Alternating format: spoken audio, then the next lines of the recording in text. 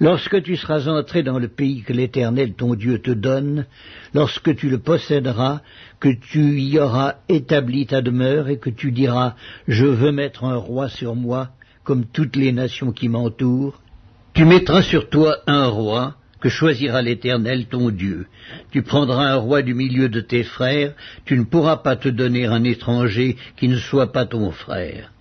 mais qu'il n'ait pas un grand nombre de chevaux, et qu'il ne ramène pas le peuple en Égypte pour avoir beaucoup de chevaux. Car l'Éternel vous a dit, vous ne retournerez plus par ce chemin-là,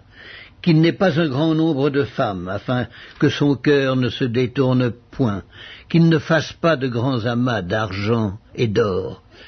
quand il s'assiera sur le trône de son royaume, il écrira pour lui dans un livre une copie de cette loi qu'il prendra auprès des sacrificateurs les Lévites.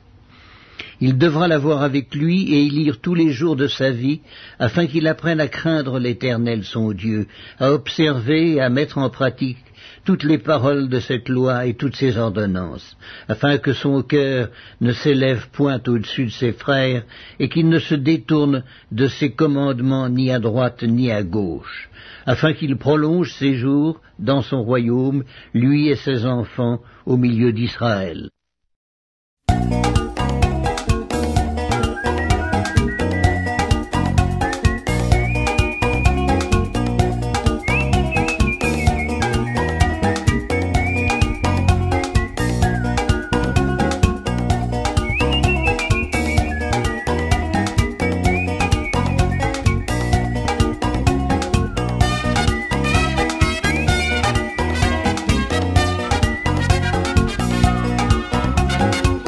mundima su esebondene